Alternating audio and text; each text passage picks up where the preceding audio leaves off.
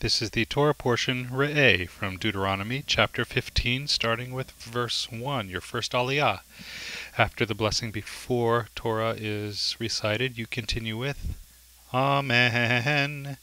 Miketz sheva shanim ta'aseh shmita v'zeh devar hashmita shamot כל בעל מעשה ידו אשר ישה ברעהו לא ייגוש את רעהו ואת אחיו כי קרא שמיטה לאדוני.